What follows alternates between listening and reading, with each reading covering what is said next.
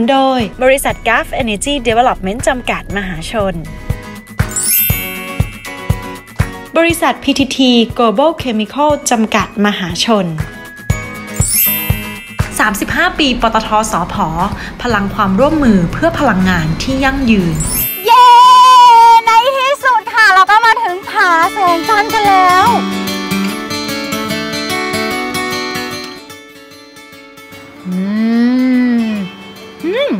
ลงตัวคือแป้งแบบละลายในปากไปเลยอะค่ะ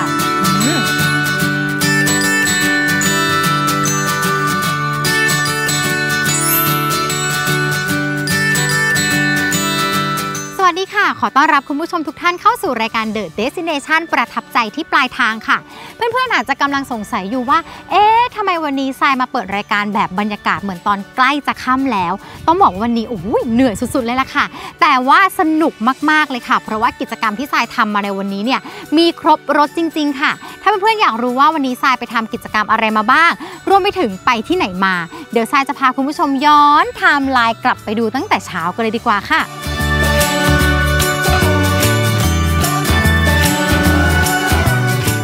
วันนี้นะคะเรามาเริ่มต้นทริปกันตั้งแต่เช้าตรู่เลยละค่ะ ซึ่งถ้าคุณผู้ชมลองสังเกตดูนะคะ วิวข้างๆทรายเนี่ยมีทั้งภูเขา มีทั้งอ่างเก็บน้ำแบบนี้ทายถูกไหมคะว่าทรายมาเที่ยวที่จังหวัดอะไร tick tock tick tock ทรายอยู่ที่จังหวัดชลบุรีค่ะ ซึ่งถ้าพูดถึงจังหวัดชลบุรีเนี่ยหลายคนก็คงจะนึกถึงทะเลบ้าง คาเฟ่บ้าง แต่วันนี้ค่ะทรายจะพาคุณผู้ชมมาเที่ยวจังหวัดชลบุรี ในอีกรูปแบบหนึ่งก็คือการชมวิวบนภูเขาค่ะ และก็ดูดวงอาทิตย์ขึ้นด้วย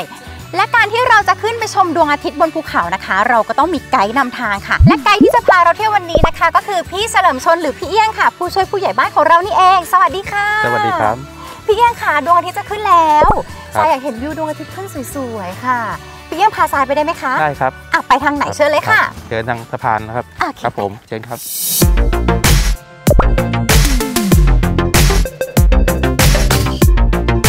เดี๋ยวแล้วมันจะตื่นเต้นนิดนึงครับ ใช่ค่ะ ต้องมีสติค่ะสะพานนี้อันนี้คือเราขุดขึ้นเองหรือว่า ใช่ครับขุดขึ้นเองครับพอดีมันมีอ่าน้ำไหลลงมาจากเขาก็เลย มาจากขุดไปทางไหนคะลงมาหลายๆทางฝั่งฝั่งเขาอ๋อฝั่งเขาเจ้า ก็อ๋อส่วนมากจะลงจากเขาใหญ่ลงมา อืมค่ะ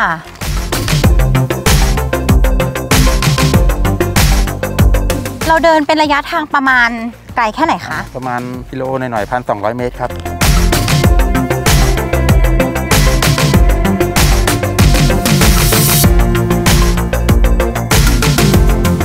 เรียกเหงื่อดีดีๆค่ะตอนเช้า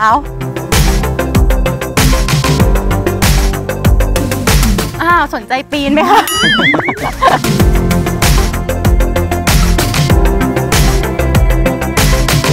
เฮ้ยสนุกไหมครับ สนุกค่ะ ไม่ไปต่อแล้วนะ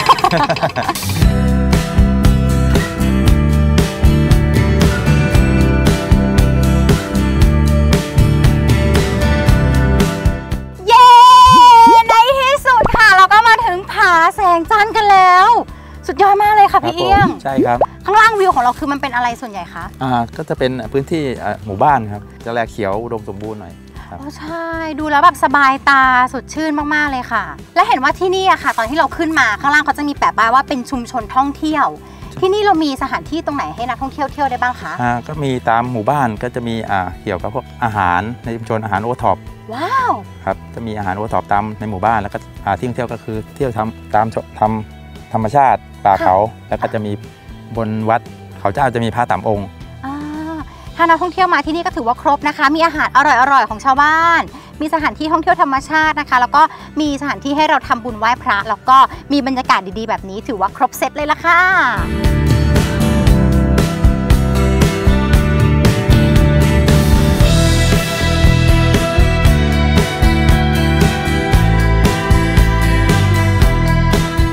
อ่าฝั่งนี้จะเป็นฝั่งอำเภอบ่อทองนะครับค่ะครับเป็นจุดชมวิวอีกจุดหนึ่งโอ้อากาศจะลมเย็นสบายได้รับลมธรรมชาติ อันนี้ก็คือเป็นอีกหนึ่งจุดของเขาเจ้า ใช่ครับ ก็จุดตรงนี้นะคะ ถือว่าเป็นไฮไลท์ที่ว่าถ้านักท่องเที่ยวมาถึง ต้องแวะมาถ่ายรูปด้วย แต่ว่าต้องระมัดระวังนิดนึงนะคะเขาก็ใช่มีครับเชือกกั้นเอาไว้ครับให้แล้ว ระวังตกล่วงลงไปไม่ได้อันตรายอันค่ะตรายนิดนึงครับ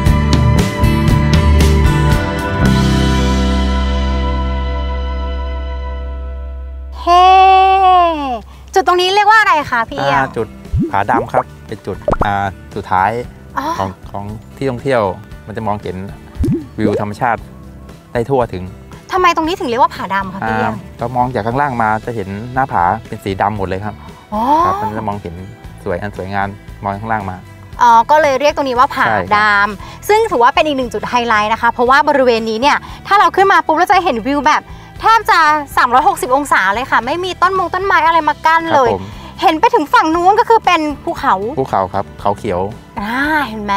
คือวิวได้กว้างไกลมากๆเลยแหละค่ะ ถ้าเกิดนักท่องเที่ยวมาบริเวณนี้นะคะ ก็สามารถมานั่งรับลมชมวิวได้แล้วก็ถ่ายรูปได้ด้วยแต่ว่า ก็ระวังอย่าไปริมมากนะคะ เดี๋ยวจะอันตรายเกินไปอืมใช่ครับ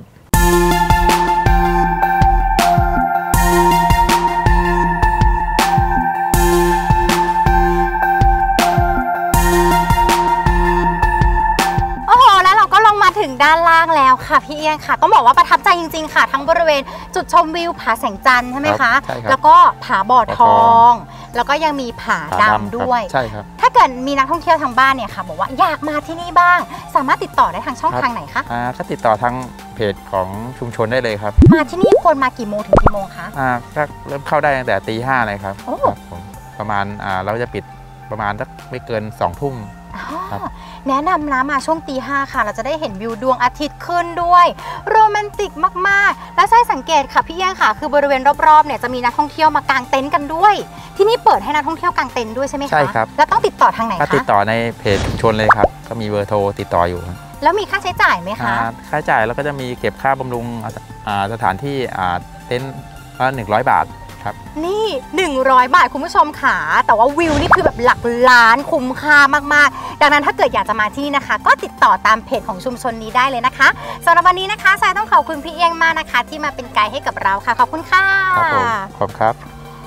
คุณผู้ชมค่ะต้องบอกว่าที่นี่นะคะ ถือว่าเป็นอีกหนึ่งสถานที่อันซีนแห่งใหม่ของจังหวัดชนบุรีนะคะ ที่เพื่อนๆไม่ควรพลาดเลยเพราะว่าบางคนอาจจะเคยไปทะเลแล้ว ไปคาเฟ่มาทั่วแล้ว ที่นี่แนะนำเลยค่ะว่าควรมาจริง ๆ ค่ะ แต่วันนี้ค่ะทริปวันนี้ทรายจะพาคุณผู้ชมไปสถานที่ท่องเที่ยว อันซีนอีกหนึ่งที่ที่อยู่ที่จังหวัดชนบุรี แต่จะเป็นที่ไหนนั้น พร้อมยังตามทรายมาเลยค่ะก่อนที่เราจะไปถึงบ้านพักนะคะค่ะเราก็จะผ่านศูนย์ครัวก่อนค่ะ แล้วก็จะมีแปลงดอกไม้นะคะ เชิญเลยค่ะพี่ทรายเฮ้ยเจ๋ง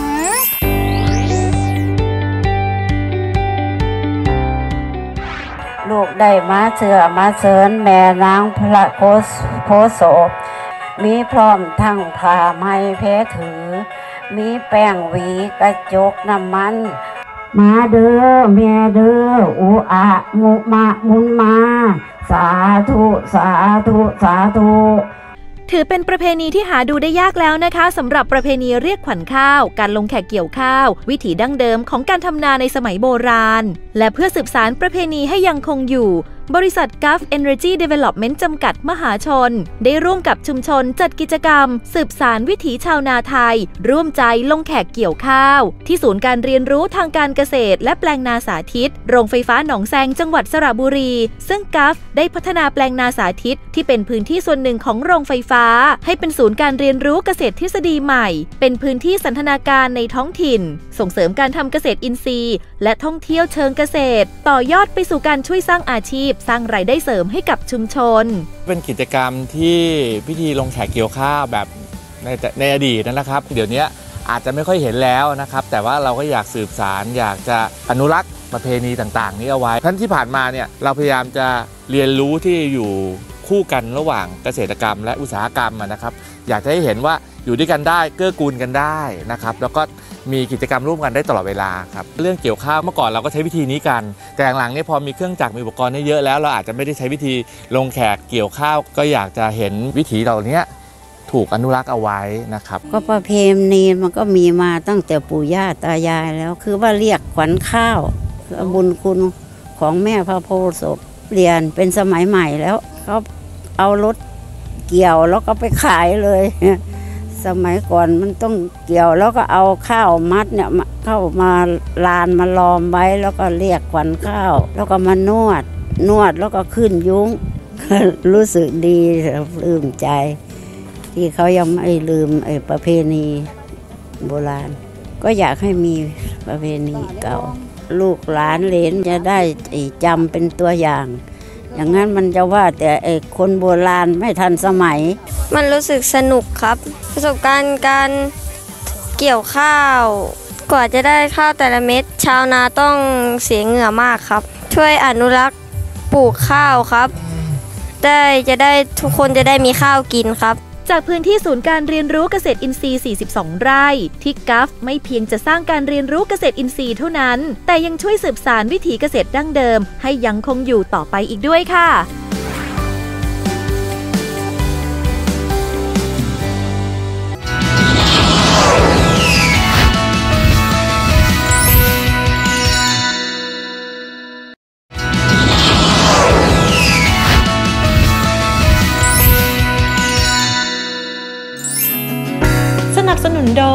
ษัท Gulf Energy Development จำกัดมหาชน 35 ปี ปตทสพพลังความร่วมมือเพื่อพลังงานที่ยั่งยืน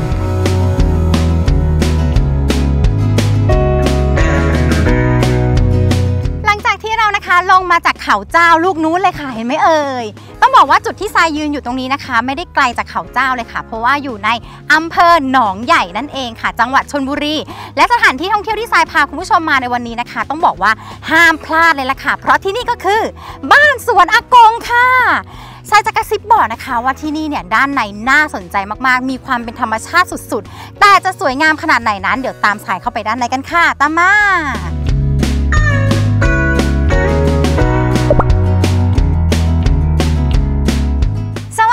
สดีค่ะอาสกวัสงดีค่ะ ไม่ใช่ อากงนะคะพี่ทราย อันนี้น้องบัวเป็นหลานสาวอากงเองค่ะ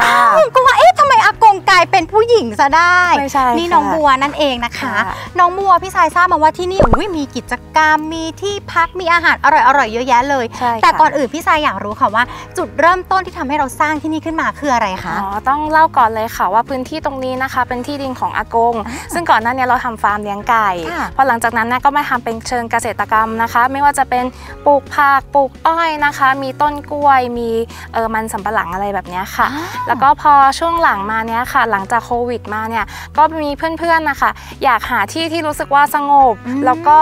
เออใกล้ธรรมชาติแล้วก็เดินทางไม่ไกลนะคะ ก็เลยแบบว่ามา มาเยี่ยมที่นี่กันค่อนข้างเยอะมากอ๋อโบก็เลยสร้างเป็นกระท่อมไม้ไผ่ค่ะค่ะ ก็จะเป็นที่พักเชิงธรรมชาตินะคะอ่าเอาไว้รองรับค่ะ แล้วก็ต่อมานะคะก็คือเพื่อนๆเนี่ยพอเช็คอินแล้วก็มีการบอกกันปากต่อปากเป็น word of mouth ค่ะ ก็เลยทำให้มีนักท่องเที่ยวหลายคนนะคะสนใจที่อยากมาพักที่นี่กันเยอะมากเลยค่ะพี่สาย พี่สายก็แอบไปสืบมา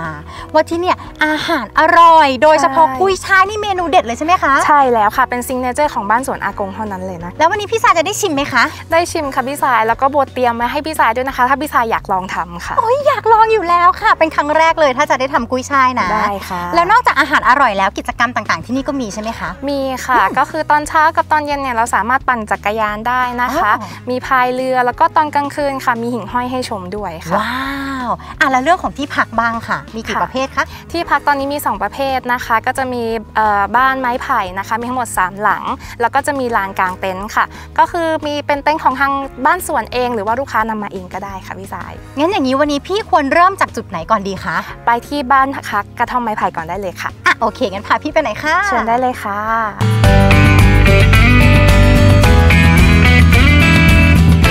ที่เราจะไปถึงบ้านพักนะคะ ค่ะเราก็จะผ่านสวนครัวก่อนค่ะ แล้วก็จะมีแปลงดอกไม้นะคะซึ่งพืชผักสวนครัวตรงเนี้ยค่ะ ลูกค้าคนไหนสนใจอยากจะค่ะ มาเด็ดมาชิมนะคะ เชิญได้เลยค่ะ เพราะว่าของเราปลอดสารพิษเป็นแบบเกษตรอินทรีย์แล้วฝั่งนี้หูฝั่งยนี้จะเป็นดอกมาร์การเร็ตค่ะสีแล้วม่วงๆนี่ใช่ไหมคะใช่ค่ะ แล้วก็จะมีดอกทานตะวันด้วยค่ะพี่สาย อ่าโอเค อย่างนี้ถ้าเกิดสมมติว่าเพื่อนๆอยากมาถ่ายรูปกับดอกไม้ก็ต้องเช็คในเพจใช่เนอะค่ะว่าช่วงนี้เป็นดอกไม้อะไร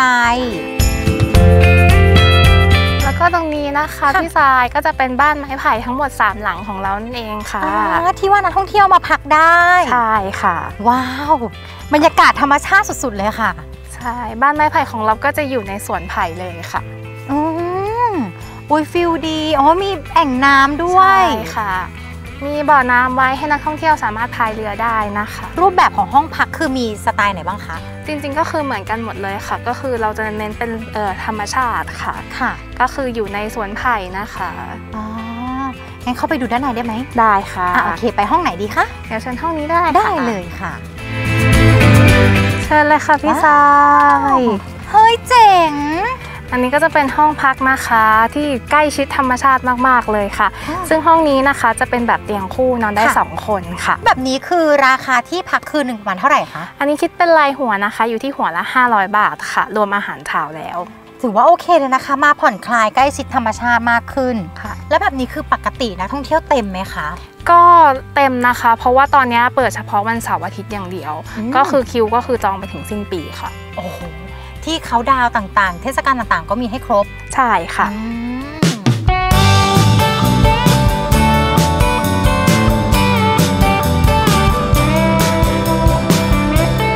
และนี่ก็เป็นที่พักอีกรูปแบบหนึ่งของทางทางเรานะคอ๋อก็คือมีเต็นท์ให้พร้อมได้เลยเหรอคะใช่ค่ะอ๋อเต็นท์แบบนี้ก็คือเราสามารถพักได้กี่คนคะ อันนี้นะคะพักได้พักสูงสุดถึง 7 คนเลยค่ะ โอ้โห คือจุก็ว่าเป็นเต็นท์ที่ใหญ่เหมือนกันใช่ค่ะ หรือถ้าเกิดสมมตินักท่องเที่ยวมีเต็นท์ก็เอามาเองได้เอามาเองได้ด้วยเหมือนกันใช่ค่ะ แต่ถ้าเกิดไม่มีแบบนี้คิดค่าใช้จ่ายยังไงคะก็เป็นหัวละ 500 เหมือนกันค่ะ ก็คือจะมีเต็นท์มีเครื่องนอนให้นะคะ แล้วก็มีอุปกรณ์ให้ทุกอย่าง full course หมดเลยค่ะ โอ้ตรงนี้ก็น่านอนไปอีกแบบนะคะ เดี๋ยวเราเข้าไปดูข้างในกันได้ค่ะเชิญเลยค่ะไปค่ะโอ้โหกว้างจริง ๆ ด้วยใช่ อุ้ยยืนได้เลยค่ะ โอ้กว้างจริงคือปกติพี่ก็เคยนอนเต็นท์แต่ไม่เคยนอนเต็นท์กว้างขนาดนี้ค่ะ ก็เหมาะสำหรับการมาแคมปิ้งแบบครอบครัวหรือว่าเพื่อนฝูงเยอะๆเลยค่ะ ปกติแล้วระหว่างเต็นท์กับเป็นบ้านไม้ไผ่อันไหนฮิตกว่ากันคะเอ่อบ้านไม้ไผ่จะฮิตมากกว่าค่ะอ๋อเพราะว่าเต็นท์เพึ่งอันนี้ก็คือเพิ่งเอามาลงค่ะโอ้นอนเต็นท์ก็ฟีลลิ่งดีนะคะ ถ้าเพื่อนๆแบบรู้สึกว่าโอ๊ยเบื่อนอนในกรุง เบื่อนอนแบบโรงแรมแล้วมาหาแบบโอกาส ในการใกล้ชิดธรรมชาติแบบนี้ก็ถือว่าสุดยอดเลยค่ะ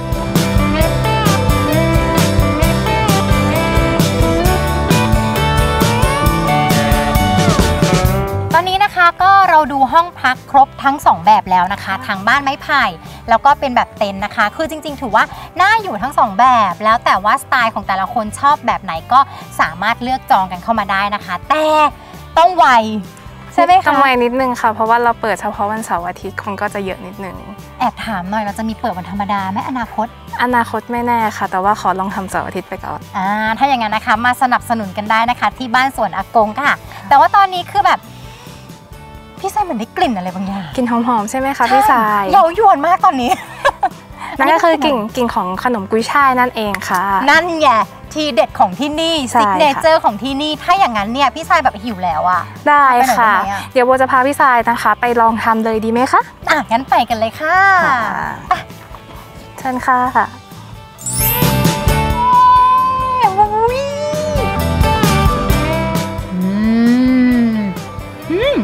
ลงตัว คือแป้งแบบละลายในปากไปเลยอะค่ะอืม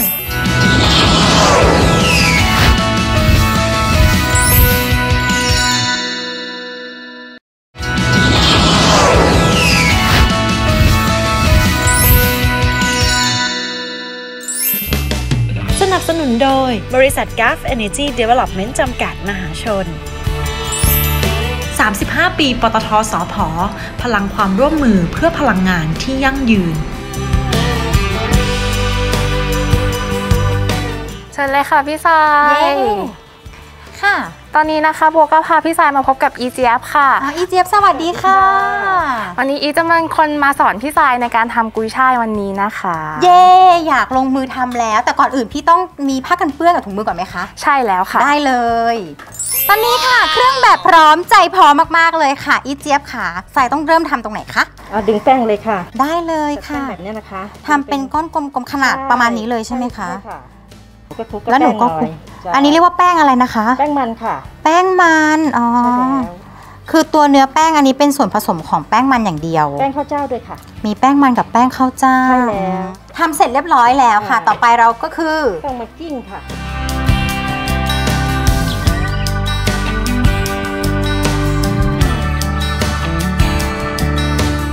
อเราวางเต็มถาดนึ่งแบบนี้แล้วค่ะทำไมเราต้องทาน้ำมันด้วยอะคะโก ก็ก็ต้องทาคือว่าให้มันอิ่มตัวให้อ้ามัวนไม่ให้มัน มันติดกันเอออืมเพราะถึงเวลาพอนึ่งมันจะขยายตัวด้วยใช่ไหมคะ โอเคใช่อย่างนี้คือพร้อมแล้วค่ะโกบอกรีบหิวหิว ต้องรีบไปนึ่งค่ะ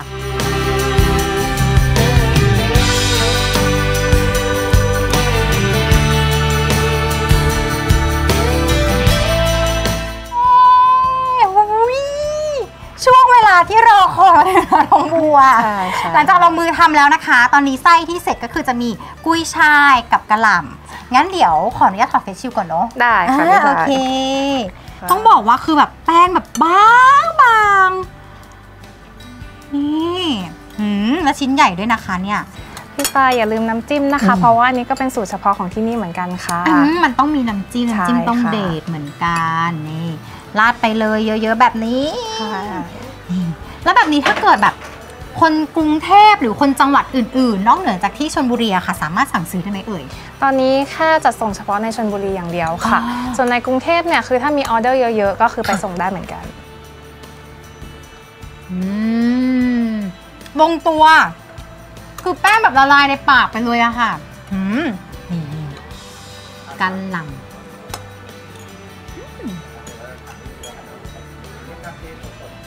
กะหล่ำก็โอเคค่ะอุ้ยคือรสชาติแบบกลมกล่อมนัวมาก แล้วก็อย่างที่บอกคือเอกลักษณ์ที่นี่คือแป้งบางแล้วก็ไส้เข้มข้น ให้ไส้แน่นๆ เครื่องแน่นๆ น้ำจิ้มก็เด็ด บอกเลยนะคะว่าไม่ควรพลาดจริงๆ signature ที่นี่คือยอมรับเลยค่ะ อร่อยมากค่ะๆงั้นเราสองคนลงมือกันต่อนะได้จัดการค่ะให้หมดเลยนะ โอเคค่ะขอบคุณกันนะ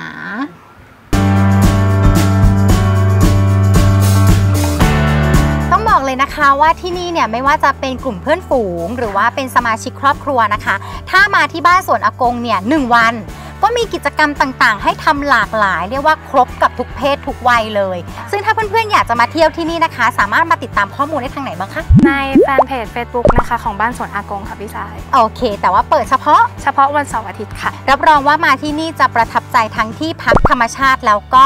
พี่ๆน้องๆ ครอบครัวของค่ะน้องบัวแน่นอนเลยนะคะสำหรับวันนี้ค่ะพี่ทรายต้องขอบคุณน้องบัวมากๆเลยนะคะ ที่มาเป็นไกด์พาเที่ยวที่นี่ขอบคุณค่ะขอบคุณค่ะ